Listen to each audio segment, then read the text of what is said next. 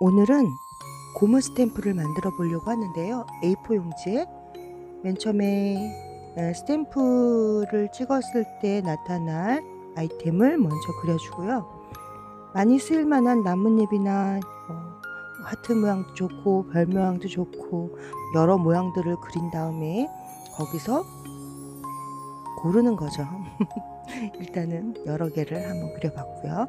그 위에 트레이싱지를 가지고 이제 사비 연필을 가지고 다시 밑그림을 본을 뜰 거예요. 아, 도장은 뒤집혀져서 각인이 되어야지만 찍었을 때 바로 나오잖아요. 그래서 이런 작업을 하기 위해서 트레이싱지가 필요해요. 트레이싱지 위에 어, 사비 연필로 진하게 본을 뜬 다음에 요 본을 잘라서 고무판 위에 뒤집어서 올리면요. 이제 그 고무판 위에 내가 스케치한 것처럼 벗겨 나올 수 있거든요. 그 다음 작업을 보시면 이제 쉽게 알 수 있어요. 트레싱지를 거꾸로 뒤집어서 지우개 위에 올려놓고요. 손으로 막 문질러줘요. 그러면 이제 연필이 고무 위에 올라타거든요. 스케치를 다시 안 해도 이렇게 되는 거죠. 이 작업을 하는 걸 보여드리려고 했는데 영상이 너무 안 좋아가지고 아 이거 쓸 수가 없었어요. 그래서 다시 별을 가지고 제가 다시 만들었는데요. 별은 직선이기 때문에 조금 더 쉬울 것 같기도 하고 그렇습니다. 다음은 재료에 대해서는 잘 몰라서 제가 중간 가격에 중국산 샀던 것 같은데요. 일단 작업을 진행해 볼게요. 네, 별을 뒤집어 가지고 고무 위에 올리고 이제 눌러서 각인을 해줄게요.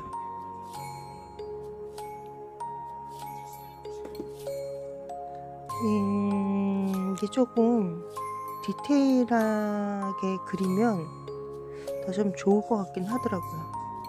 그래서 작업이 어렵다 그러면 이제 이렇게 되어 있는 거 위에다가 다시 살짝 조금 더 그려줘도 잘 그려지더라고요. 지금 칼은 일본에서 나오는 건데요. 고무 이 스탬프를 만들 때 사용하는 것 같아서 제가 하나 마련을 해봤는데 이 칼은 저희가 이제 맨날 쓰는 이 조각도보다 기울어져 있어요. 그래서 쓰기가 편하더라고요. 일단 이제 칼이 위에서 아래로 들어오잖아요.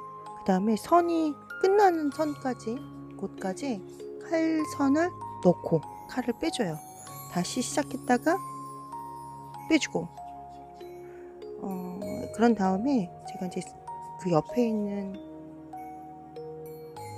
고무들을 이제 제거를 해주는 거거든요. 자른 부분들을 그래서 어, 이 칼을 사용해 서 선을 정확하게 그려주는 게 중요하더라고요. 근데 해보니까 어, 이 경도 차이, 그러니까 지우개가 좀 물렁하느냐, 딱딱하느냐, 어, 이거에 대해서 이 칼이 얼마큼 들어가고 안 들어가고 힘을 얼마큼 주고 안 주고 이런 걸 알 수 있는데 제가 처음 쓰는 재료이기도 하고 조금 어렵더라고요.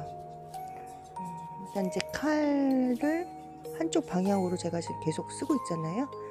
그런데 음, 시작점 되는 부분이라고 해야 되나? 지금 이 별의 각진 부분들을 딱딱 그 선까지만 딱 칼집을 넣어줘야 돼요. 그래야 별이 조금 예쁘게 나오는 것 같아요. 별 하나 하는 것도 좀 어렵더라고요. 이렇게 경계선을 깔끔하게 처리를 해 준 다음에 옆에 남아있는 부분을 깔끔하게 정리를 해야지 예쁜 스탬프가 되는 것 같아요.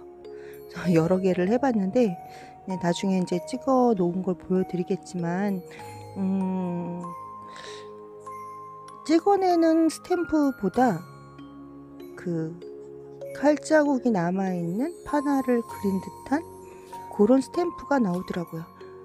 어, 제가 이 지우개 스탬프를 만들다 보니까 여러 개를 만들어 봤거든요. 근데 이 만들어 보니까 이 힘 조절을 어떻게 하느냐. 그래서 직선을 자를 때 또 곡선을 자를 때 요 칼날이 미세하게 흔들리잖아요. 그런 거를 잘 잡으면 예쁜 게 나오고 안 그러면 망하는 거죠. 망합니다. 그래서 요건 많이 만들어 보는 게 관건인 것 같고 또 재미있는 작업이기도 한 것 같아요. 취미로 하나씩 만들어서 캘리도 만들어 보고 엽서도 만들어 보고 나만의 스탬프를 만드는 건 재미있는 작업인 것 같아요. 남이 하는 거는 쉬워 보였는데 제가 하다 보니까 와 이게 디테일한 작업이구나 라는 생각이 들었어요.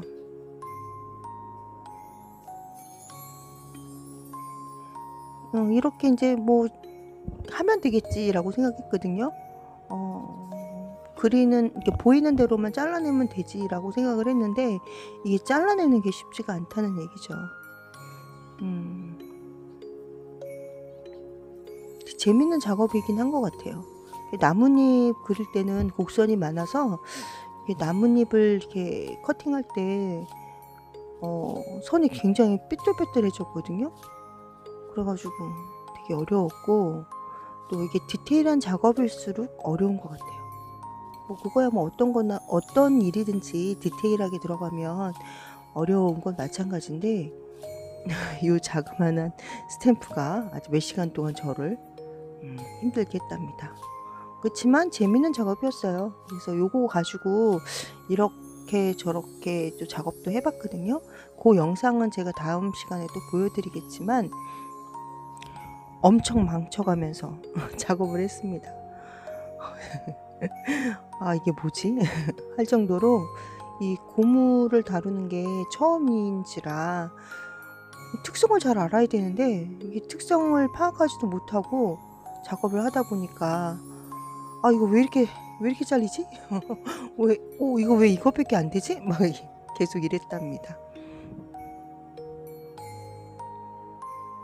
별은 직선이잖아요. 그래서 하나하나 이렇게 커팅이 나가면서 차분, 차분하게 가면 됐는데 곡선 작업은 곡선이 한번 삐뚤빼뚤해지면 아, 답이 없어요. 이거 가늘어졌네? 굵어졌네? 선 침범했네? 이래가면서 계속 작업을 했어요.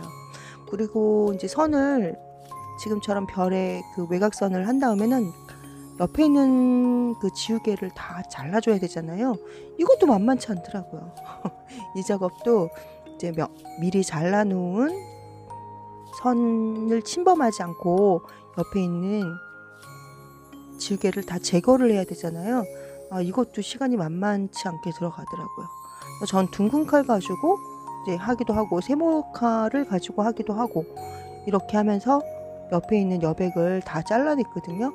그래서 요거는 영상을 빨리 돌려드리는 이유가 별로 어려, 어려운 건 아니지만 정성을 다해서 커팅하면 된다는 생각으로 영상을 음, 빨리 돌리게 되었어요. 근데 이 시간도 엄청 들더라고요. 음, 지금 그 나뭇잎 소재로 만들어진 여러 가지 스탬프, 별, 달, 뭐 이런 것들을 좀 만들어 보고요. 또 돼지도 만들어 보고, 그래서 여러 개를 만들어 보는데 시간이 10시간? 좀 소요된 것 같아요. 엄청 많이 소요가 됐거든요.